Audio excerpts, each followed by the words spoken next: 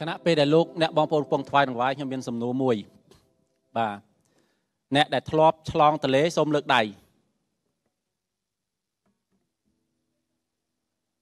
អ្នកដែលធ្លាប់ឆ្លងទន្លេបាទ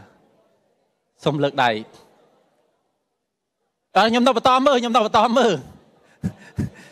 ខ្ញុំក៏ចង់ដឹងថាមានប្រមាណអ្នកក្នុងចំណោមលោកអ្នកបងប្អូនធ្លាប់ឆ្លងទន្លេបាទបាទបាទ បាទបាទអរគុណច្រើនអរគុណច្រើនអាចអាចអាចតម្លាក់ដៃចុះបានបាទខ្ញុំធ្លាប់ឆ្លងទន្លេដែរបាទប៉ុន្តែជិះសាឡាងហើយជិះទូកបាទចំណងជើងមេរៀនរបស់ខ្ញុំ នៅព្រឹកនេះគឺនៅពេលដែលអ្នកឆ្លងទន្លេសូមសូមប្រាប់គ្នាទៅវិញទៅមកថានៅពេលអ្នកឆ្លងទន្លេបាទ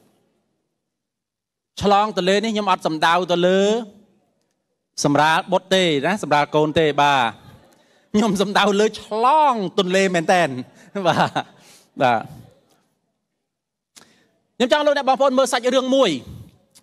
នៅពេលដែលប្រជាជនរបស់ព្រះជាម្ចាស់ព្រះអង្គប្រាប់ពួកគេឲ្យឆ្លងទន្លេពីពួកគេនៅក្បែរមាត់ទន្លេនេះហើយគេមើលឃើញត្រើយមកខាងទៀត ប៉ុន្តែអត់ទាន់ដល់ពេលដែលគេត្រូវឆ្លងមិនមែនជាស្ថានភាពត្រឹមត្រូវហើយព្រះអង្គអត់ទាន់ឲ្យគេឆ្លងទៅណាទាំងអស់ប៉ុន្តែមានគ្រាមួយព្រះអង្គប្រាប់គេថាឥឡូវដល់ពេលហើយឥឡូវត្រូវធ្វើខ្ញុំចង់លោកអ្នកបងប្អូនទាំងអស់គ្នាមើលតើតើយើងអាចរៀនអីគេបានខ្លះនៅពេលដែលយើងឆ្លងទន្លេរបស់យើងដែរហើយខ្ញុំជឿជាក់ថានៅក្នុងជីវិតរបស់យើង យើងនឹងត្រូវឆ្លងទន្លេរបស់យើងអាមែននៅក្នុងយូស្វេជំពូកទី4 កាន់ព្រះគម្ពីរយូស្វេជំពូកទី4ខ្ញុំនឹងអានខទី1ដល់ខទី5ជូនលោកអ្នកបងប្អូនពេលប្រជាជនទាំងមូលឆ្លងទន្លេយ៉ូដានរួចហើយព្រះអម្ចាស់មានព្រះបន្ទូលមកកាន់លោកយូស្វេថា ចូលនាំគ្នាជ្រើសរើសរកបុរស12នាក់ពីក្នុងពីចំណោមប្រជាជន គឺម្នាក់ក្នុងកុលសម្ព័ន្ធនីមួយនីមួយហើយត្រូវបង្គាប់ពួកគេថា ចូលយកថ្ម12ដុំពីកណ្ដាលទន្លេយ៉ូដាន ពីកន្លែងដែលក្រុមបូជាចាដាក់ជើងនោះទៅជាមួយ ហើយដាក់នៅកន្លែងដែលអ្នករាល់គ្នាស្នាក់នៅពេលយប់លោកយូស្វេហៅបរោះ12នាក់ដែលលោកបានជ្រើសរើសក្នុងចំណោមជនជាតិអ៊ីស្រាអែលគឺម្នាក់ក្នុងចំណោមសំទោសគឺម្នាក់ក្នុងកុលសម្ព័ន្ធនីមួយនីមួយលោកយូស្វេមានប្រសាសន៍ទៅកាន់គេថា ចូលទៅខាងមុខហឹបរបស់ព្រះអម្ចាស់ជាព្រះរបស់អ្នកនៅកណ្ដាលទន្លេយ៉ូដាននៅទីនោះ សូមឲ្យម្នាក់ម្នាក់យកថ្មមួយដុំមកដាក់លើស្មា តាមចំនួនកុលសម្ព័ន្ធនៃជនជាតិអ៊ីស្រាអែលគ្រានេះព្រះអង្គបានឲ្យជនជាតិអ៊ីស្រាអែលឆ្លងកាត់ទន្លេយ៉ូដាន ហើយទន្លេនេះគឺទឹកហូរមានទឹកហូរហើយនៅពេលដែលព្រះអង្គឲ្យគេឆ្លងក្នុងព្រះគម្ពីរបានចែងថាបើយើងអានពីសាច់រឿងនៅពេលដែលក្រុមបូជាចានេះសែងហឹបសម្ព័ន្ធមេត្រីរបស់ព្រះជាម្ចាស់នៅពេលដែលគេដាក់ជើងចូលទៅក្នុងទឹកទន្លេយ៉ូដាន ក្នុងព្រះគម្ពីរចែងថាប្រភពទឹកឈប់ហូរមានន័យថាកន្លែងដែលបញ្ចេញទឹកឲ្យហូរមកវាឈប់ហូរអញ្ចឹងមានន័យថាទឹកវាចាប់ដើមនាចទៅនាចទៅនាចទៅដោយសារប្រភពឈប់ហូរអញ្ចឹងព្រះមានព្រះបន្ទូលថាឲ្យរើសមនុស្ស12នាក់តំណាងនៃកុលសម្ព័ន្ធនីមួយនីមួយនៃជនជាតិអ៊ីស្រាអែលជនជាតិអ៊ីស្រាអែលមាន12កុលសម្ព័ន្ធឬ12គ្រួសារធំធំតាមឈ្មោះតាមវងតកូលរបស់ពួកគេរើសម្នាក់ មកយកថ្មមួយដូច្នេះ12នាក់ពីព្រោះតំណាង12កុលសម្ព័ន្ធប៉ុន្តែព្រះអង្គបានប្រាប់គេថាទៅរើសនៅតាណាក៏យកទៅឲ្យតែថ្មនៅបាតទលេរឿងដែលសំខាន់មិនមែនថ្មនៅបាតទលេទេរឿងសំខាន់គឺនៅកន្លែងដែលព្រះអង្គនាំគេឆ្លងកាត់ដែលព្រះអង្គក៏ប្រហារតីឲ្យពួកគេបានរើសនោះគឺថ្មដែលកន្លែងដែលពួកបូជាចាមានន័យថាអ្នកដែលសែងហឹបសម្ព័ន្ធមេត្រីបូជាចានេះ ថ្មកន្លែងគាត់សំខាន់ថ្មកន្លែងគាត់ពិសេសនេះមិនមែនដោយសារវត្តមានរបស់គាត់ទេប៉ុន្តែដោយសារគាត់សែងហឹបសម្ព័ន្ធមេត្រី ដែលជាប្រវត្តិមានរបស់ព្រះអង្គនៅសម័យនោះឈរនៅកន្លែងណាឲ្យយកថ្មពីកន្លែងនោះខ្ញុំជឿជាក់ថានេះមិនមែនជាឱកាសដែល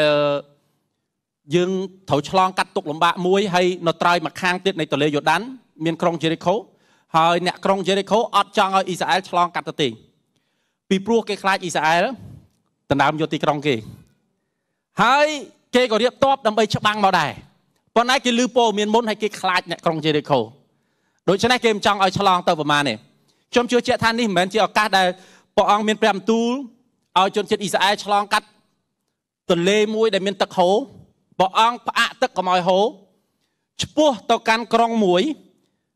ដែលប្រជាជននៅក្រុងនោះត្រៀមសម្រាប់ពួកគេ ខ្ញុំជឿជាក់ថាវាមិនមែនជាកិច្ចការមួយដែលសបាយដែលយើងថាយើងដើរដើរកាត់កាត់ទន្លេសាដើរដើរអ៊ុបផ្លេចយករបស់អនុស្សាវរីយ៍មួយហើយរើសយកដុំថ្មហើយធ្វើអានឹងជាអនុស្សាវរីយ៍វាមិនមែនជារបស់អនុស្សាវរីយ៍ធម្មតាដែលព្រះអង្គឲ្យធ្វើទេប៉ុន្តែជាអ្វីមួយយ៉ាងដែលព្រះអង្គគាត់ប្រហារតីឲ្យកុលសម្ព័ន្ធនីមួយនីមួយបានឃើញក្នុងព្រះពីបានចែងថាចេះឲ្យពួកគេបានឃើញមិនមែនសម្រាប់តែចំនួនពួកគេទេ នៅក្នុងយោស្វេចំពុកទី3ខទី3មានន័យថាមុនពេលពួកគេឆ្លងកាត់ទន្លេយ៉ូដានហើយបញ្ជាទៅកាន់ប្រជាជនថាពេលណាអ្នករាល់គ្នាឃើញក្រុមបូជាចាលេវីសែងហឹបសម្ព័ន្ធមេត្រីរបស់ព្រះអម្ចាស់ជាព្រះរបស់អ្នករាល់គ្នា ពេលនោះអ្នករាល់គ្នាសំទោសពេលនោះត្រូវនាំគ្នាចាក់ចេញពីកន្លែង ដែលអ្នករាល់គ្នានៅ ស្នាក់នៅហើយដើរតាមហឹបនោះទៅ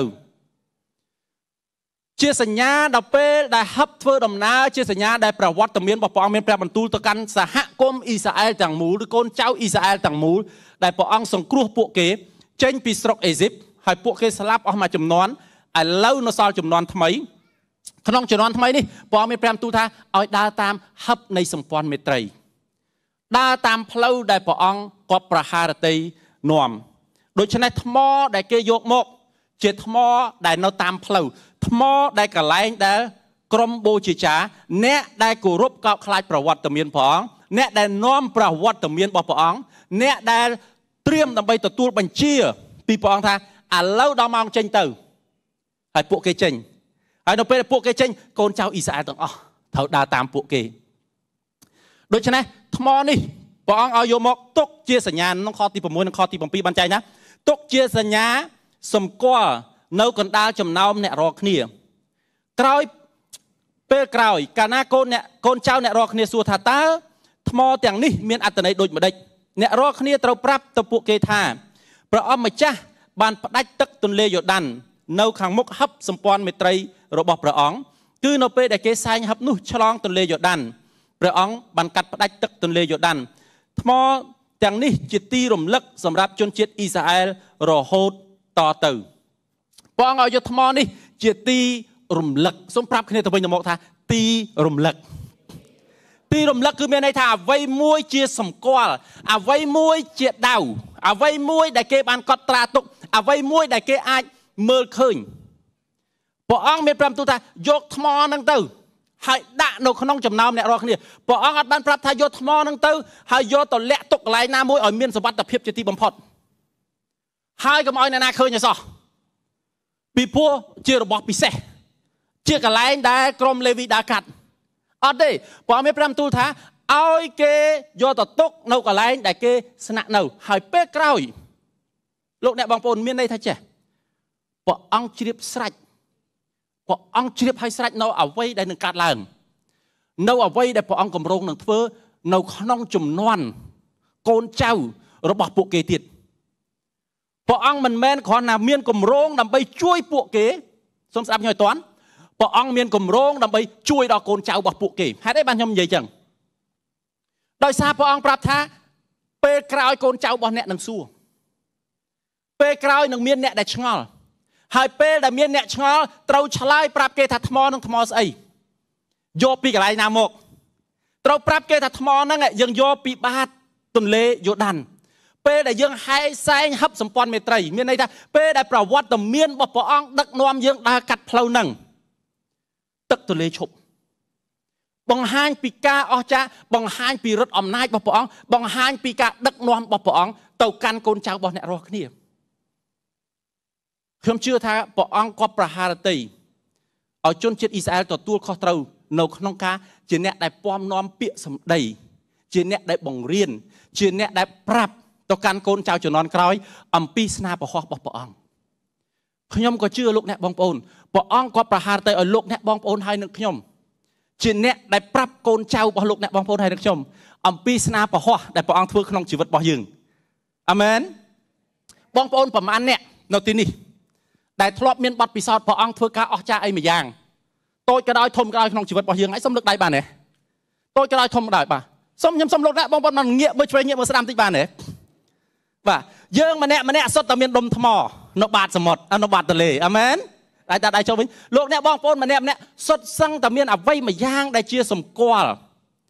ជាទីរំលឹកទៅកាន់កូនចៅរបស់លោកអ្នកបងប្អូនទាំងអស់គ្នាកុំឲ្យពេលដែលលោកអ្នកបងប្អូនអានព្រះគម្ពីរឲ្យកូនចៅលោកអ្នកបងប្អូនសួរថាម៉ាក់ប៉ាអ្មេចបានម៉ាក់ប៉ាអានគម្ពីរអូយមិនដឹងទេចាំសុខគ្រូសាមឌីតាមក្រោយទៅទៅវា សូមប្រាប់គ្នាទៅវិញមកថាអត់ទេអត់ទេអត់ទេបាទអត់ទេលោកអ្នកបងប្អូនមានទួនាទីព្រះអង្គក្នុងក្នុងគម្ពីរនេះបានចែងថាព្រះអង្គឲ្យគេយកពីកុលសម្ព័ន្ធនីមួយៗយកថ្មមកដុំមានន័យថាចេះមកគ្រួសារមកវងតកូលតកូលរ៉ូប៊ីនអូខេមកមកកុលសម្ព័ន្ធរ៉ូប៊ីនមកមកតកូលរ៉ូប៊ីនយកនេះមួយណាមកតកូលនេះយកតកូលយូដាយកយកយកថ្មរបស់យូដាអញ្ចឹងនៅពេលដែលកូនចៅរ បស់តកូលរបស់ខ្លួនសួរអ្នកដែលយកមានទួនាទីប្រាប់ខ្ញុំតកូលលៀងខ្ញុំនឹងប្រាប់កូនហើយនឹងចៅតកូលលៀងលោកអ្នកបងប្អូនអាចប្រាប់អ្នកចិត្តខាងលោកអ្នកបងប្អូនបានទេថាខ្ញុំតកូលនេះហើយខ្ញុំប្រាប់កូនចៅតកូលនេះព្រះអង្គក៏ប្រហារតីឲ្យយើងជាអ្នកដែលបង្រៀនកូនចៅរបស់យើងបន្តលោកអ្នកបងប្អូនមួយចំនួននិយាយថាលោកគ្រូតែខ្ញុំអត់ទាន់មានកូនផង អត់អីទេ យើងនៅមានកូនខាងវិញ្ញាណព្រោះព្រះអង្គនៅបញ្ជាឲ្យយើងបង្កើតសិស្សទោះបីជាកូនយើងផ្ទាល់ក៏យើងបរៀនគាត់ឲ្យខ្លាយទៅជាសិស្សរបស់ព្រះអង្គទោះបីជាអ្នកដតីផ្សេងទៀតដែលព្រះអង្គនាំមកកាន់ជីវិតរបស់យើងក៏យើងនាំគាត់ឲ្យស្គាល់ព្រះអង្គដូចគ្នាដូច្នេះព្រះអង្គធ្វើកិច្ចការអស្ចារ្យនៅក្នុងជីវិតលោកអ្នកបងប្អូនហើយនឹងខ្ញុំ មិនមែនព្រះអង្គធ្វើដោយអាសាឥតបានការអត់មានកិច្ចការណាមួយដែលព្រះអង្គធ្វើការអស្ចារ្យហើយ ព្រះអង្គអត់ខ្វល់ព្រះអង្គថាប្រាប់គេក៏បានមិនប្រាប់គេក៏បានពីការអស្ចារ្យរបស់យើងមិនបាច់អត់អីទេมันសំខាន់អត់ទេព្រះអង្គធ្វើកិច្ចការមួយហើយព្រះអង្គរំលឹកយើងឲ្យប្រាប់បន្តឲ្យយើងជួយផ្សព្វផ្សាយបន្តហេតុអីពីព្រោះព្រះអង្គមិនមែនខ្វល់ខ្វាយតែលោកអ្នកបងប្អូននៅចំនួនយើងប៉ុណ្ណោះទេប៉ុន្តែព្រះអង្គខ្វល់ខ្វាយអ្នកចំនួនបន្ទាប់ថ្ងៃនេះម៉ោងនេះជនជាតិអ៊ីស្រាអែលគេបានមិនថ្ងៃនេះម៉ោងនេះទេណាខ្ញុំនិយាយពីរឿងអាការសាច់រឿងហ្នឹងណា បាទថ្ងៃនោះម៉ោងនោះបាទជនជាតិអ៊ីស្រាអែលមកក្រុមឆ្លងទន្លេយូដានប៉ុន្តែថ្ងៃក្រោយម៉ោងក្រោយកូនចៅរបស់ពួកគេឆ្លងកាត់ឧបសគ្គមួយផ្សេងទៀតព្រះអង្គចង់ដាក់ដុំថ្មមួយនេះនៅក្នុងក្រុមគ្រួសារពួកគេដើម្បីជាសញ្ញារំលឹកជាទីរំលឹកឲ្យគេដឹងយ៉ាងច្បាស់ថាព្រះអង្គគង់នៅជាមួយ បើព្រះអង្គដឹកនាំមកចំនួនឆ្លងកាត់ទន្លេយូដានដោយធ្វើការអស្ចារ្យរឹតបានហាកុំឲ្យទឹកហូរបានហើយឲ្យកូនចៅអ៊ីស្រាអែលទាំងមូលបានឆ្លងកាត់បានព្រះអង្គក៏នឹងអាចធ្វើកិច្ចការផ្សេងទៀតសម្រាប់ជីវិតរបស់កូនចៅអ៊ីស្រាអែលទៅខាងមុខទៀតដែរបើព្រះអង្គធ្វើការអស្ចារ្យដោយលោកអ្នកបងប្អូនបានលើកដៃអំបញ្ញមិញមានន័យថានៅក្នុងជីវិតកូនចៅរបស់លោកអ្នកបងប្អូនទាំងអស់គ្នាព្រះអង្គក៏គាត់ប្រហាតីធ្វើការនៅក្នុងចំនួនរបស់ពួកគេដែរអាមែន មិនមែនតែចំនួនរបស់យើងប៉ុន្តែចំនួនរបស់យើងគឺជាអ្នកដែលត្រូវប្រាប់ត្រូវបរៀនហើយបកបរិយាកាសនៃជំនឿឲ្យពួកគាត់បានស្ដាប់ឲ្យពួកគាត់បានឮពីទីបន្ទាប់របស់លោកអ្នកបងប្អូនហើយនឹងខ្ញុំនៅខទី8ខទី9បានចែងថាចេះជនជាតិអ៊ីស្រាអែលបានធ្វើតាមសេចក្តីដែលលោកម៉ូសេដែលលោកយូស្វេបានបង្គាប់គឺយកថ្ម12ដុំពីកណ្ដាលទន្លេយ៉ូដានតាមចំនួនកុលសម្ព័ន្ធនៃជនជាតិអ៊ីស្រាអែលដូច្នេះព្រះអង្គម្ចាស់ មានព្រះបន្ទូលអត់សំទោសដោយព្រះអង្គម្ចាស់មានព្រះបន្ទូលទៅកាន់លោកយូស្វេពួកគេក៏លីក៏លីដុំថ្មទាំងនោះឆ្លងទៅជាមួយ រហូតដល់កន្លែងដែលដែលស្នាក់នៅពេលយប់ហើយទុកនៅទីនោះលោកយូស្វេឲ្យគេបញ្ឈរថ្ម12ដុំនៅកណ្ដាលទន្លេយ៉ូដានត្រង់កន្លែងដែលក្រុមបូជាចារសែងហឹបសម្ព័ន្ធមេត្រីបានឈរថ្មទាំង12ក៏នៅទីនោះរហូតដល់សពថ្ងៃ រហូតដល់សពថ្ងៃដែលពួកគេនៅដូច្នេះលោកម៉ូសេបានធ្វើលោកយូស្វេបានធ្វើកិច្ចការពីរទី1យកថ្មតាមព្រះអង្គបានប្រកបយកទៅដាក់នៅក្នុងកុលសម្ព័ន្ធរបស់ពួកគេនីមួយនីមួយកន្លែងដែលគេស្នាក់នៅមិនមែនជាកន្លែងលាក់កំបាំងប៉ុន្តែទី2អ្វីដែលគាត់បានធ្វើគាត់បានឲ្យគេយកថ្ម12ដុំហើយរៀបជាស្ទូបរៀបបតុកបឈរនៅកន្លែងដែលក្រុមបូជាចា បាននាំហឹបសម្ព័ន្ធមេត្រីនៅពេលដែលពួកគាត់ឆ្លងកាត់ផុតទឹកក៏ចាប់ដើមហូរត្រឡប់មកវិញខ្ញុំជឿជាក់ថាសម័យនោះដោយសារអត់មាន Google Map លោក Josue អត់អាច pin location កើតគាត់អត់អាច pin location បានអញ្ចឹងមានដាក់ថ្មដើម្បី pin ថានៅក្នុងទន្លេយូដាននេះនៅទីតាំងកន្លែងនេះគាត់ pin លោកអ្នកបងប្អូនម៉ាក់យល់យល់វិញខ្ញុំចង់និយាយបាទបាទបាទគាត់ចុចទីតាំងចុចទីតាំងលើផែនទីបាទប៉ុន្តែអត់មានលើទូរស័ព្ទអត់មានលើអី ដាក់ថ្មចុចនៅលើទីតាំងកន្លែងហ្នឹងក្នុងទន្លេមែនប៉ុន្តែទីតាំងកន្លែងនេះទោះបីជាថ្ងៃក្រោយមានទឹកហូរមកពេញមែនប៉ុន្តែមានកន្លែងមួយតែទោះបីជាគេផ្សេងទៀតមកអត់ឃើញតែនៅខាងក្រោមហ្នឹងជាកន្លែងដែលហឹបសម្ព័ន្ធមេត្រីរបស់ព្រះជាម្ចាស់ឆ្លងកាត់ជាកន្លែងដែលអ្នកបម្រើព្រះអង្គបានដើរកាត់ពីព្រោះព្រះអង្គនាំគេកាត់កន្លែងនោះលោកអ្នកបងប្អូនដឹងទេរឿងមួយចំនួននៅក្នុងជីវិតរបស់យើងគុំគ្រាន់តែយកថ្មមក ប៉ុន្តែត្រូវមានសំណាក់ត្រូវមានទីរំលឹកនៅក្នុងជំរៅដួងចិត្តរបស់យើងដែរពេលខ្លះកប់នៅក្នុងជំរៅដួងចិត្តរបស់យើងអ្នកដតីផ្សេងទៀតអត់បានឃើញអត់បានដឹងមែនប៉ុន្តែគុំបំភ្លេចចោលឲ្យសោះទុកនៅក្នុងដួងចិត្តរបស់យើងចាំពីកិច្ចការដែលព្រះអង្គបានធ្វើចាំពីកិច្ចការដែលព្រះអង្គបានជួយនៅក្នុងជីវិតរបស់យើងនៅពេលដែលគេសួរយើងអាចប្រាប់ទីតាំងបានទីតាំងនៅកន្លែងនេះខ្ញុំជឿជាក់ថាសម័យនោះប្រសិនបើគេចង់ទៅរកទីតាំងដើម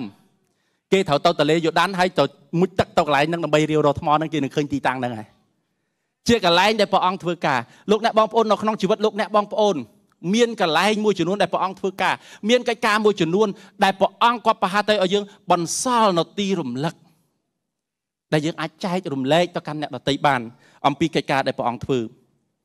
នៅក្នុងខទី10និងខទី13 ក្រុមបូជាចាហែង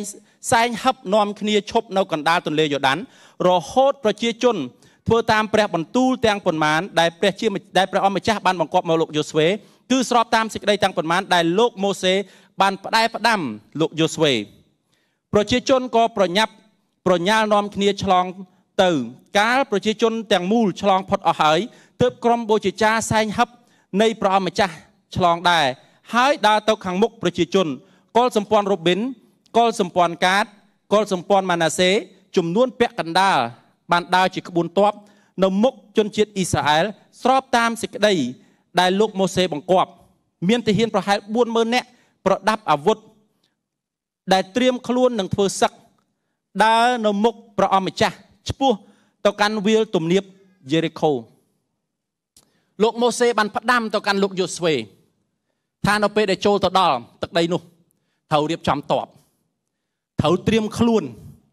ពីព្រោះនៅទីក្រុងយេរីកូគេអត់សុវ័យចិត្តដើម្បីស្វាគមន៍អ្នករាល់គ្នា យើងឃើញថាពួកគាត់បានធ្វើតាមការបដិញ្ញាចិត្តរបស់ពួកគាត់ដែលមានតាំងពីដើមមក អ្នកបម្រើព្រះជាម្ចាស់នៅសម័យនោះ គេបានបដិញ្ញាចិត្តដើម្បីត្រៀមជាស្រេចដើម្បីធ្វើកិច្ចការដែលព្រះអង្គបង្គាប់ ហើយនៅពេលដែលគេត្រៀមខ្លួនជាស្រេចដើម្បីធ្វើការបដិញ្ញាចិត្តធ្វើនៅអ្វីដែលព្រះអង្គបង្គាប់ព្រះអង្គបានសម្រេចប្រហារតីរបស់ព្រះអង្គព្រះអង្គសម្រេចអ្វីដែលព្រះអង្គបានសន្យានៅក្នុងជីវិតរបស់ពួកគេលោកអ្នកបងប្អូនទាំងអស់គ្នាខ្ញុំអត់ដឹងថាលោកអ្នកបងប្អូនអីខ្លះលោកអ្នកបងប្អូនណាខ្លះមានការបដិញ្ញាចិត្តអ្វីខ្លះនៅក្នុងជីវិតរបស់យើងខ្ញុំធ្លាប់មានការបដិញ្ញាចិត្តមួយចំនួនពីមុនខ្ញុំធ្លាប់ធ្លាប់បដិញ្ញាចិត្តថាខ្ញុំនឹងធ្វើនេះខ្ញុំនឹងធ្វើនោះថ្វាយព្រះអង្គខ្ញុំនឹងរៀបចំចេះរៀបចំចុះមួយរយៈពេលក្រោយមកភ្លេចឲ្យឆឹង រយៈពេលយូរទៅពេលខ្លះយើងភ្លេចឬពេលខ្លះធនធានរបស់យើងដែលយើងថាយើងចង់ធ្វើឲ្យបានដូចចិត្តរបស់យើងអត់បានដល់ឬក៏កម្លាំងដែលយើងចង់ដាក់ចូលអត់មានកម្លាំងដើម្បីនឹងបំពេញកិច្ចការមួយនោះឲ្យបានបញ្ចប់ប៉ុន្តែខ្ញុំលើកទឹកចិត្តលោកអ្នកបងប្អូនថាចូលរក្សាការបដិញ្ញាចិត្តរបស់លោកអ្នកបងប្អូនដូចជនជាតិអ៊ីស្រាអែលដូចប្រមាណកុលសម្ព័ន្ធនេះដែលគេបានបដិញ្ញាចិត្តហើយថានៅពេលដែលយើងឆ្លងកាត់គ្រួសាររបស់យើងកុលសម្ព័ន្ធរបស់យើងនឹងឈរនៅមុខ នៅក្នុងព្រះរាជរបស់ព្រះជាម្ចាស់យើងត្រូវការមនុស្សដែលមានការបដិញ្ញាចិត្តមនុស្សមួយចំនួនគាត់បដិញ្ញាចិត្តហើយមានទួនាទីហើយការត្រាស់ហៅរបស់គាត់គឺគ្រាន់តែសែងហឹបសម្ព័ន្ធមេត្រីអ្នកផ្សេងមកសែងអត់បានទេអ្នកផ្សេងមកសែងនឹងស្លាប់ថាឡើយសែងគ្រាន់តែប៉ះក៏ស្លាប់ដែរមានមនុស្សតែមួយក្រុមហ្នឹងឯងដែលព្រះអង្គប្រើឲ្យសែងនៅហឹបសម្ព័ន្ធមេត្រីមានមនុស្សមួយក្រុមទៀតគេធ្វើកិច្ចការនេះមានមនុស្សមួយក្រុមទៀតគេធ្វើកិច្ចការនោះនេះគឺជារូបភាពនៃក្រុមជំនុំរបស់ព្រះអង្គ នេះគឺជារូបភាពសហគមន៍នៃគ្រួសាររបស់ព្រះអង្គម្ចាស់នៅពេលដែលព្រះអង្គក៏ប្រហារតីឲ្យសហគមន៍របស់ព្រះអង្គកូនចៅរបស់ព្រះអង្គទៅកាន់គោលដៅមួយនៅក្នុងជីវិតរបស់ពួកគេស្របតាមការណែនាំព្រះអង្គប្រទានឲ្យពួកគេមានសមត្ថភាពដើម្បីធ្វើនៅអ្វីដែលពួកគេបដិញ្ញាចិត្តដើម្បីធ្វើខ្ញុំជឿដូចគ្នា ឆ្នាំ2024នេះអត់ខុសពីគ្រាដែលព្រះអង្គធ្វើ ព្រះអង្គទុករឿងទាំងអស់នេះសម្រាប់លោកអ្នកបងប្អូនហើយនៅខ្ញុំដើម្បីអានដើម្បីឲ្យយើងនឹកចាំថាព្រះអង្គបានធ្វើនៅក្នុងជីវិតរបស់ពួកគេផ្ទាល់បើព្រះអង្គធ្វើក្នុងជីវិតរបស់ពួកគេព្រះអង្គក៏ធ្វើក្នុងជីវិតរបស់យើងដែរអាមែនអាចរំលឹកគ្នាយើងមកផ្លែតបានឯអ្នកដែលអង្គុយនៅចិត្តលោកអ្នកបងប្អូនណាបើព្រះអង្គធ្វើនៅក្នុងជីវិតរបស់ពួកគេព្រះអង្គក៏ធ្វើក្នុងជីវិតរបស់យើងដែរខទី13និងខទី14នៅថ្ងៃនោះ ព្រះអង្គម្ចាស់ពង្រឹងអំណាចរបស់លោកយូស្វេនៅចំពោះមុខប្រជាជនអ៊ីស្រាអែលទាំងមូលពួកគេនាំគ្នាកោតសរសើរកោតខ្លាចលោកជារៀងរាល់ថ្ងៃអស់មួយជីវិតរបស់លោកដោយគេធ្លាប់គោរពកោតខ្លាចលោកម៉ូសេដែរព្រះអង្គបានលើកមុខដល់អ្នកដែលគោរពកោតខ្លាចព្រះអង្គព្រះអង្គបានលើកមុខរបស់លោកយូស្វេឬនិយាយមកខ្លីថាព្រះអង្គបានផ្ដល់កិត្តិយសដល់លោកយូស្វេព្រះអង្គក៏ផ្ដល់កិត្តិយស ទៅដល់អ្នកដឹកនាំកុលសម្ព័ន្ធផ្សេងផ្សេងដែរ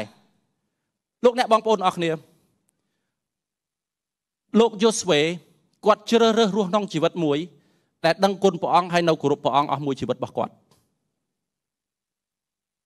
គាត់បានជ្រើសរើសធ្វើតាមព្រះអង្គអស់មួយជីវិតរបស់គាត់ដោយសារគាត់ជ្រើសរើសធ្វើតាមព្រះអង្គអស់មួយជីវិតរបស់គាត់គាត់ទទួលកិត្តិយសគាត់បានខ្ពស់មុខព្រះអង្គបានបំពេញនៅអ្វីដែលព្រះអង្គក៏ប្រតិឲ្យគាត់មាន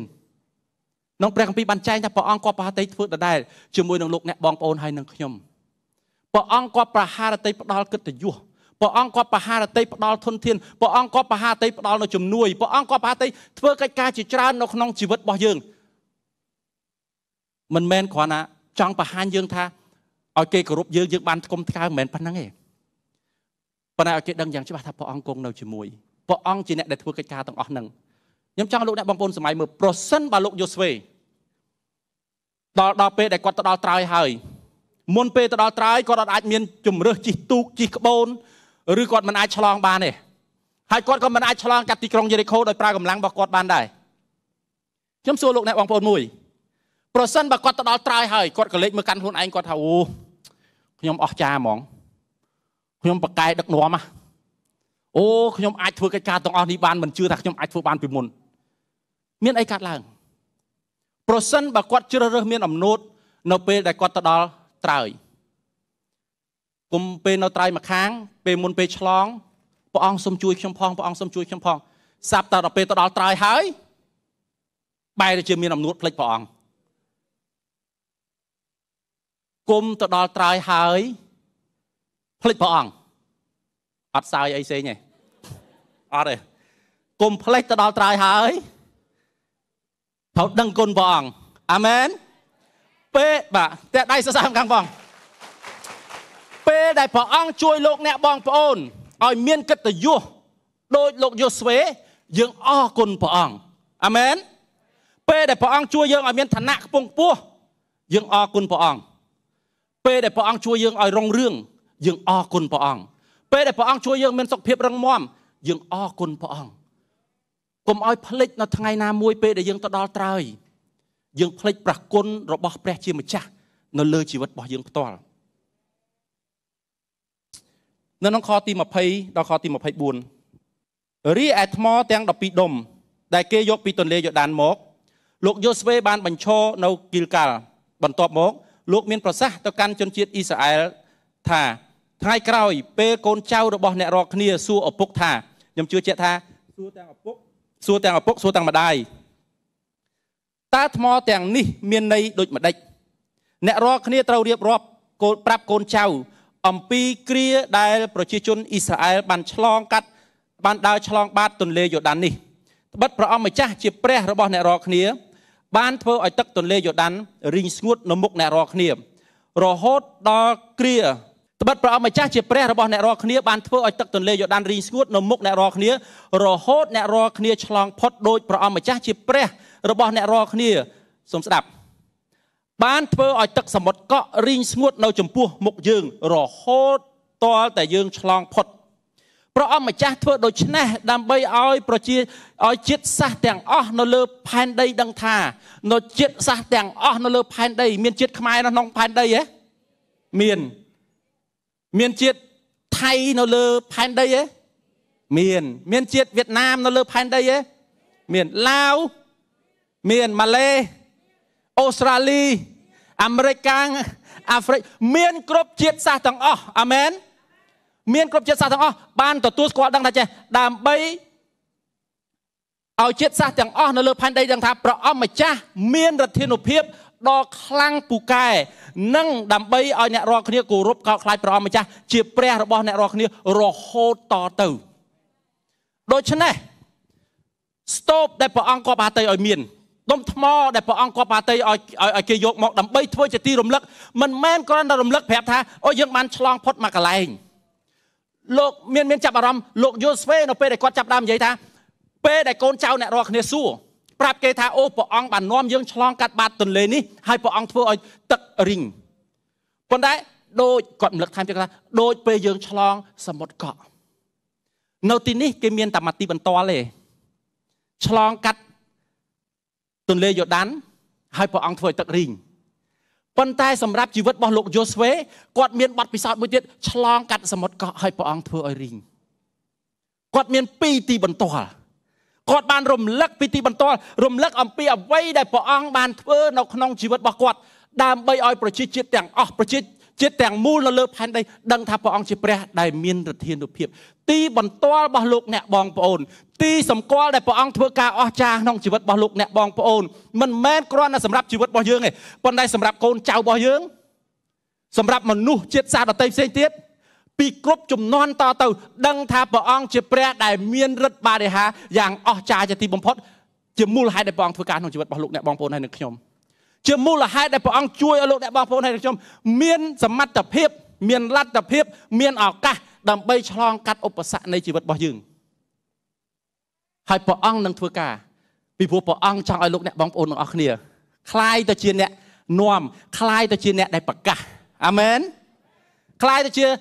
អ្នកនាំសារคล้ายទៅជាបន្តរបស់ព្រះអង្គទៅដល់ប្រជាជាតិជាច្រើនទៀតគុំរងចាំគុំរងចាំថាអូខ្ញុំទុកឲ្យអ្នកដតីផ្សេងទៀតបរៀនកូនខ្ញុំពីព្រះបន្ទូលរបស់ព្រះជាម្ចាស់ចាំយកមកវិហារនៅវិហារមានថ្នាក់កុមារគ្រាន់តែយកមកហើយចូលថ្នាក់កុមាររួចខ្លួនមួយអាទិត្យកូននៅហ្នឹងណាអត់ទេលោកអ្នកបងប្អូននៅក្រមជំនុំយើងនឹងព្យាយាមជួយគ្នាទៅវិញទៅមក នេះជាសហគមន៍នៃគ្រួសារយើងមានគ្រូកុមារនៅលើយើងអរគុណព្រះអង្គសម្រាប់អ្នកស្ម័គ្រចិត្តមានឪពុកមានម្ដាយមួយចំនួននៅទីនេះក៏ស្ម័គ្រចិត្តជួយក្នុងពន្ធកិច្ចកុមារជាពូជាមីងជាអ៊ំក្នុងការជួយសហគមន៍នៃគ្រួសារមួយនេះក្រុមជំនុំមួយនេះដើម្បីជួយបណ្ដោះបណ្ដាលបន្ថែមប៉ុន្តែទំនួលខុសត្រូវនៅក្នុងការដែលនាំអំពីអ្វីដែលព្រះអង្គធ្វើការនៅក្នុងជីវិតរបស់លោកអ្នកបងប្អូន អ្វីដែលជាជាទំនួលខុសត្រូវរបស់លោកអ្នកបងប្អូនគឺត្រូវប្រាប់កូនចៅរបស់លោកអ្នកបងប្អូននៅទីបន្ទាល់របស់លោកអ្នកបងប្អូនផ្ទាល់គម្រោងចាំថាមើលជឿព្រះអង្គយូរហើយព្រះអង្គធ្វើឲ្យគេខ្លះចាំខ្ញុំសួរគ្រូពិសិដ្ឋសិនចាំខ្ញុំសួរលោកគ្រូសុផាន់សិនឮថាគាត់មានចកាហើយមានគោហើយមានជៀមយល់ព្រះអង្គធ្វើអីគេខ្លះល្អដែលយើងលើទីបន្ទាល់ពីពួកគាត់ប៉ុន្តែលើសពីទីបន្ទាល់ពួកគាត់ទីបន្ទាល់ដ៏មានឥទ្ធិពលជាទីបំផុត គឺនៅក្នុងកុលសម្ព័ន្ធនីមួយនីមួយនៅក្នុងតកូលនីមួយនីមួយនៅក្នុងក្រុមគ្រួសារនីមួយនីមួយទីបន្ទាល់ដ៏អស្ចារ្យជាងគេបំផុតសម្រាប់គ្រួសារខ្ញុំគឺកាត់ចេញពីខ្ញុំហើយនឹងប្រពន្ធខ្ញុំទីបន្ទាល់ដ៏អស្ចារ្យជាទីបំផុតសម្រាប់កូនចៅរបស់លោកអ្នកបងប្អូនគឺចេញពីលោកអ្នកបងប្អូនអស់គ្នាព្រះអង្គក៏ប្រតិធ្វើកិច្ចការនេះដើម្បីឲ្យគេដឹងថាព្រះអង្គជាព្រះ មានរធានុភាពដ៏ខ្លាំងពូកែហើយដើម្បីឲ្យគេគោរពកោតខ្លាចព្រះអង្គ ឲ្យគេគោរពកោតខ្លាចព្រះអង្គមនុស្សពីមួយចំនួនទៅមួយចំនួននឹងភ្លេចព្រះអង្គគេនឹងភ្លេចព្រះអង្គច្រើនលើកច្រើនសារដែលព្រះអង្គរំលឹកកូនចៅអ៊ីស្រាអែលថាគុំភ្លេចយើងឲ្យសោះគុំគុំធ្វើតាមលោកីនេះឲ្យសោះគុំគោរពកោតខ្លាចព្រះដតីដូចលោកីនេះឲ្យសោះប៉ុន្តែត្រូវគោរពទុកចិត្តហើយនឹងគ្រប់កោតខ្លាចព្រះអង្គម្ចាស់ជាព្រះរបស់អ្នករាល់គ្នាតែមួយគត់អាមែនព្រះអង្គប្រាប់ប៉ុណ្ណឹងហើយ កូនចៅអ៊ីស្រាអែលនៅភ្លេចទៀតហេតុអីបានគេភ្លេចពីព្រោះមួយចំនួនតែមួយចំនួនពេលខ្លះសម័យរុងរឿងគេភ្លេចព្រះអង្គសម័យរុងរឿងគេភ្លេចព្រះអង្គដល់តែពេលគេជួបទុកលំបាកគេគេអត់ចាំព្រះអង្គគេចាប់ផ្ដើមបត់បែនទៅតាមខ្យល់នានាដែលបក់មកកាន់ជីវិតរបស់ពួកគេបត់បែនទៅតាមមិត្តភ័ក្តិរបស់ពួកគេគេធ្វើយ៉ាងម៉េចខ្លះបត់បែនទៅតាមកលែងការងារគេធ្វើយ៉ាងម៉េចខ្លះបត់បែនទៅតាមមេរបស់គេធ្វើយ៉ាងម៉េចខ្លះ ប៉ុន្តែព្រះអង្គក៏ប្រហារទៅឲ្យលោកអ្នកបងប្អូនហើយនឹងខ្ញុំបង្រៀនកូនចៅរបស់យើងឲ្យទទួលស្គាល់ថាព្រះអង្គគឺជាព្រះដ៏មានឫទ្ធានុភាពអាមែនហើយឲ្យគេចេះគោរពកោតខ្លាចព្រះអង្គជាទំនួលខុសត្រូវរបស់លោកអ្នកបងប្អូនហើយនឹងខ្ញុំលោកអ្នកបងប្អូននេះជាមូលហេតុដែលយើងអបអរសាទរខួប30ឆ្នាំនៅក្នុងក្រុមជំនុំជីវិតថ្មីនេះកែវបាទដែលមាន logo ដបបាទដប 30ឆ្នាំដែលយើងអបអរសាទរនៅកិច្ចការដែលព្រះជាម្ចាស់ព្រះអង្គបានធ្វើខ្ញុំអរគុណទៅដល់លោកអ្នកបងប្អូនមួយចំនួនដែលបានលឺឱកាសដែលយើងអបអរសាទរនេះហើយលោកអ្នកបងប្អូនមួយចំនួននិយាយថាលោកគ្រូមានអ្នកស្ម័គ្រចិត្តប្រមាណអ្នកខ្ញុំជួយបាយគាត់អ្នកធ្វើបាយគាត់អ្នកលក់ម្ហូបគាត់ម្ចាស់ភោជនីយដ្ឋានអញ្ចឹងគាត់គាត់ធ្វើបាយកញ្ចប់ជូនគាត់លះបង់ជូនលោកអ្នកបងប្អូនមួយចំនួនទៀតគាត់លឺចឹងគាត់ថាខ្ញុំអ្នកលក់កាហ្វេខ្ញុំដាក់កាហ្វេខ្ញុំ មកគូតឡានហើយខ្ញុំទៅចែកកាហ្វេនៅក្នុងសម្រាប់អ្នកស្ម័គ្រចិត្តមិនមែនអ្នកចូលរួមទេណាសូមជម្រាបអត់ហើយគាត់អត់បានទៅចូលរួមជួយទេប៉ុន្តែគាត់ចូលរួមជួយអ្នកដែលជួយបាទលោកអ្នកបងប្អូនមួយចំនួនថាខ្ញុំចង់ជួយដែរបាននៅទទួលស្វាគមន៍ជានិច្ចអាចជប់នៅព័ត៌មានបាននៅខាងក្រៅប៉ុន្តែលោកអ្នកបងប្អូនខ្ញុំលើកទឹកចិត្តលោកអ្នកបងប្អូនយកព័ត៌មាននេះដើម្បីឲ្យលោកអ្នកបងប្អូនដឹងព័ត៌មានអំពីថ្ងៃសៅរ៍ថ្ងៃទី30យើងមានវគ្គបណ្ដុះបណ្ដាល អ្នកដឹកនាំនៅក្នុងក្រុមគ្រួសារជីវិតថ្មីមានលោកគ្រូអ្នកគ្រូអ្នកដាំក្រុមជំនុំមកไปតាមបណ្ដាខេត្តក្រុងនានាជួបជុំគ្នាទាំងទីក្រុងទាំងខេត្តផ្សេងផ្សេងរួមទាំងពេញដែរយើងជួបជុំគ្នាទាំងអស់ឲ្យតែអ្នកដឹកនាំអ្នកដឹកនាំក្រុមកោសិកាអ្នកដឹកនាំព័ន្ធកិច្ចយើងជួបជុំគ្នាពេលព្រឹកលោកអ្នកបងប្អូនមួយចំនួនក៏យើងនៅតែបន្តស្វាគមន៍ប្រសិនបើលោកអ្នកបងប្អូនចង់ចូលរួមល្ងាចថ្ងៃសៅរ៍យើងនឹងអបអរសាទរជាមួយគ្នាព្រឹកថ្ងៃអាទិត្យយើងអបអរសាទរជាមួយគ្នាពេលថ្ងៃថ្ងៃអាទិត្យយើងធ្វើដំណើរទៅមើលដីរបស់យើងដែលជា ទីតាំងមួយ ជាកន្លែងមួយ ដីមួយដុំដែលជាទីរំលឹករបស់ព្រះជាម្ចាស់លោកអ្នកបងប្អូនបានឃើញទីផ្ទាល់លោកអ្នកបងប្អូនមួយចំនួនបានឆ្លងកាត់នៅក្នុងជីវិតរបស់ក្រុមជំនុំជីវិតថ្មី រយៈពេល5ឆ្នាំចុងក្រោយនេះអ្នកខ្លះស្គាល់ក្រុមជំនុំ10ឆ្នាំមុនប៉ុន្តែមានលោកអ្នកបងប្អូនខ្លះស្គាល់ក្រុមជំនុំ30ឆ្នាំមុន20ឆ្នាំលោកអ្នកបងប្អូនបានមានឱកាសឃើញការអស្ចារ្យជាច្រើនដែលព្រះអង្គដឹកនាំសហគមន៍គ្រួសារមួយនេះ ដែលឃើញព្រះអង្គដឹកនាំសហគមន៍កូនចៅរបស់ព្រះអង្គតាមរយៈក្រុមជំនុំជីវិតថ្មីព្រះអង្គធ្វើការអស្ចារ្យជាច្រើនលោកអ្នកបងប្អូនមូលហេតុដែលយើងអបអរសាទរពីព្រោះយើងចង់រំលឹកហើយយើងចង់ដឹងគុណព្រះជាម្ចាស់ពីភាពស្មោះត្រង់របស់ព្រះអង្គអាមែនយើងហៅព្រឹត្តិការណ៍មួយនេះយើងហៅថាគុជ នៃភាពស្មោះត្រង់របស់ព្រះជាម្ចាស់គុជជាត្បូងភាពស្មោះត្រង់របស់ព្រះជាម្ចាស់មានតម្លៃលោកអ្នកបងប្អូនភាពស្មោះត្រង់របស់ព្រះអង្គមិនមែនគ្រាន់តែបន្តបច្ឆេះនៅក្នុងជីវិតលោកអ្នកបងប្អូននៅខ្ញុំរៀបចំជួយយើងឲ្យយើងអាចបន្តមានជំនឿគោរពកោតខ្លាចព្រះអង្គសម្រាប់30ឆ្នាំខាងមុខឯងប៉ុន្តែព្រឹត្តិការណ៍មួយនេះខ្ញុំជឿជាក់ថារំលឹក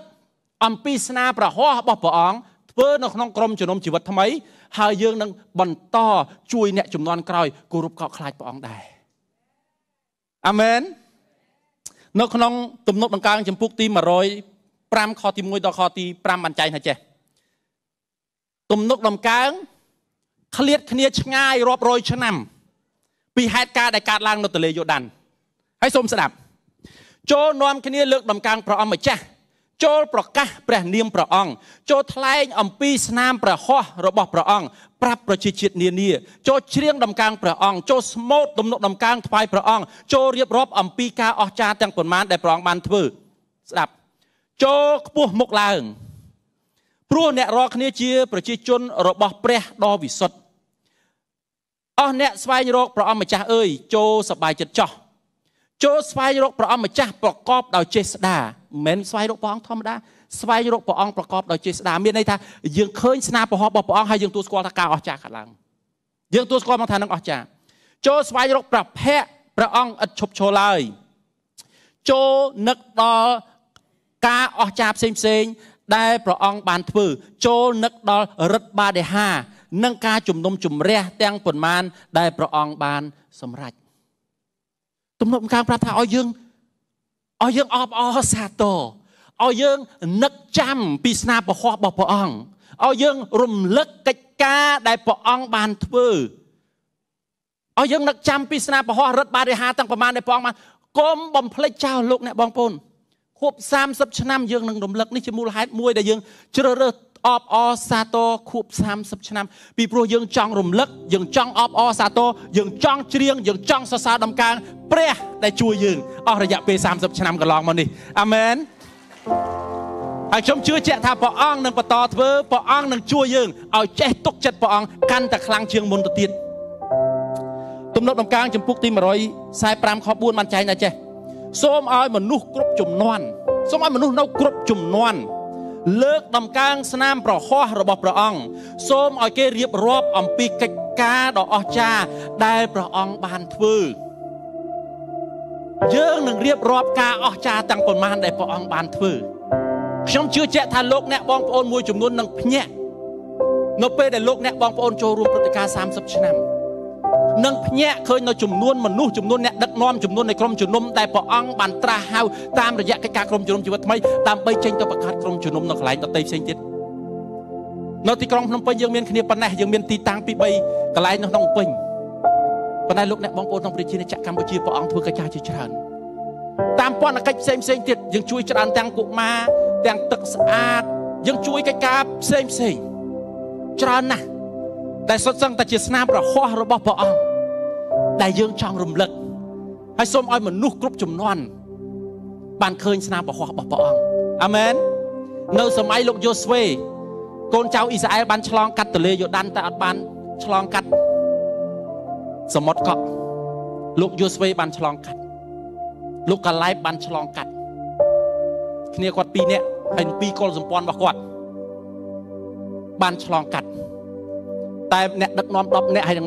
កូនចៅរបស់គេអឺ10កុលសម្ព័ន្ធបានឆ្លងកាត់តែមួយចំនួនរបស់10កុលសម្ព័ន្ធទៀតអត់បានឆ្លងកាត់អ្នកដែលបានឆ្លងកាត់គេរំលឹកថាតាមពិតព្រះអង្គមិនមែនជួយយើងទៅទលេយ៉ូដានទេណាព្រះអង្គជួយយើងតាំងពីសមុទ្រកោលោកអ្នកបងប្អូនមួយចំនួនដែលចូលរួមក្រុមជំនុំជីវិតថ្មីលោកអ្នកបងប្អូនប្រហែលជាលឺទីបន្ទាល់មួយចំនួននៅក្នុង5ឆ្នាំចុងក្រោយប៉ុន្តែនៅខួប30ឆ្នាំលោកអ្នកបងប្អូននឹងលឺ30ឆ្នាំកន្លងមកអាមែន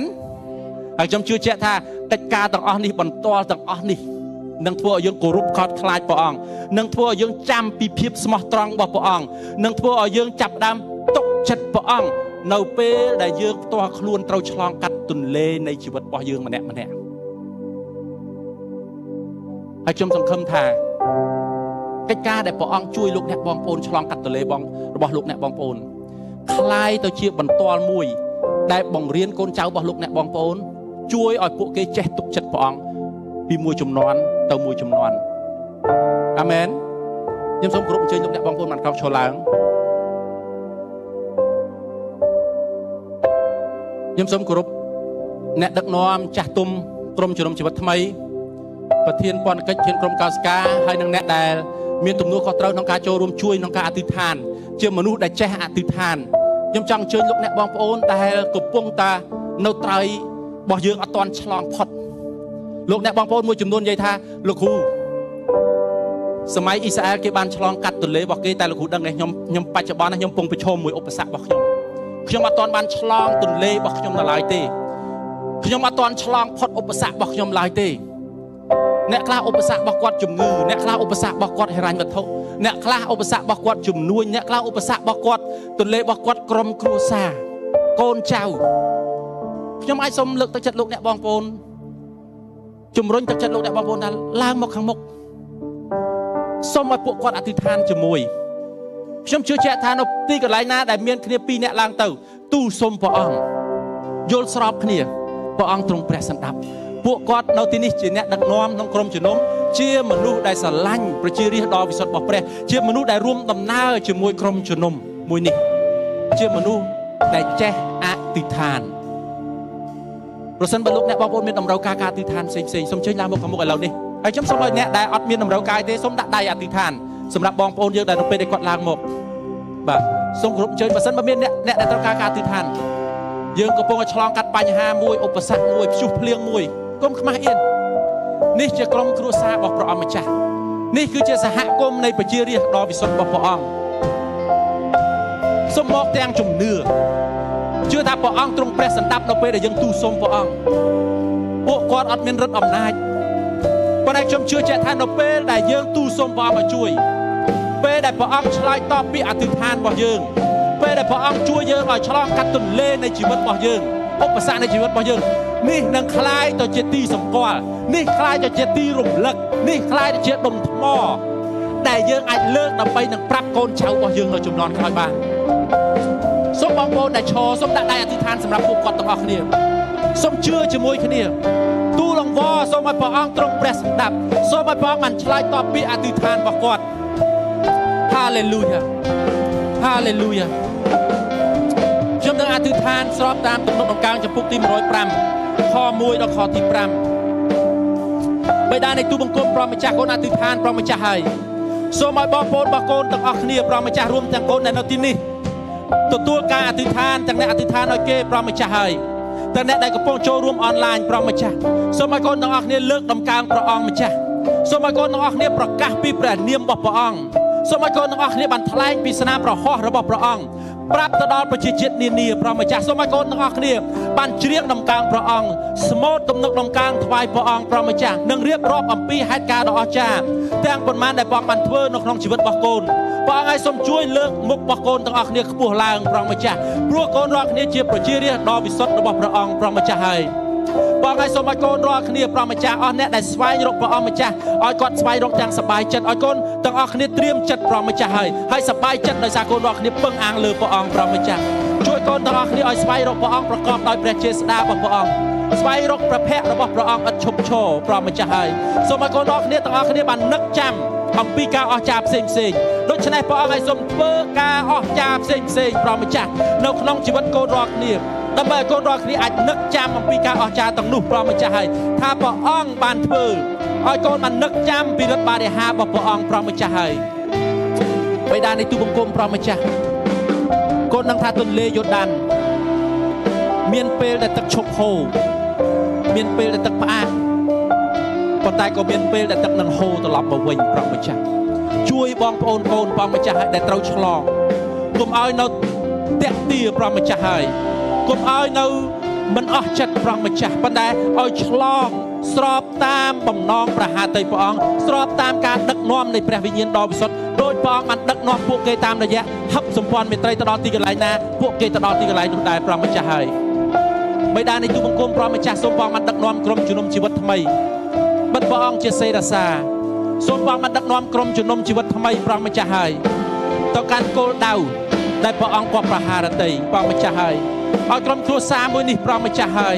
បាននាំមនុស្សជាច្រើនបានថ្វាយសេរីរុងរឿងទៅដល់ព្រះអង្គឲ្យរស់នៅជាបន្ទាល់របស់ព្រះអង្គព្រះម្ចាស់ហើយហើយកូនរាល់គ្នាចាប់ដើមផ្សាយចាប់ដើមនាំព្រះម្ចាស់នៅការអស្ចារ្យរបស់ព្រះអង្គទៅគ្រប់ទីកន្លែងទាំងអស់ព្រះម្ចាស់បិតានៃទូបង្គំគុណអរគុណទ្រង់ គុណអធិដ្ឋានគុណទូសូមព្រះអង្គសូមទីសម្គាល់សូមការអស្ចារ្យនិងរិទ្ធបារិហាសម្រាប់បងប្អូនកូនដែលនៅទីនេះទាំងទស្សនាអនឡាញព្រះម្ចាស់ហើយសប្តាហ៍នេះព្រះម្ចាស់គុណប្រកាសថាគ្មានឧបសគ្គណាមួយព្រះម្ចាស់ហើយដែលបំបាក់កូនរាល់គ្នាឡើយព្រះម្ចាស់ហើយតែផ្ទុយទៅវិញកូនរាល់គ្នានឹងឃើញការអស្ចារ្យនិងរិទ្ធបារិហាដែលមកពីព្រះអង្គព្រះម្ចាស់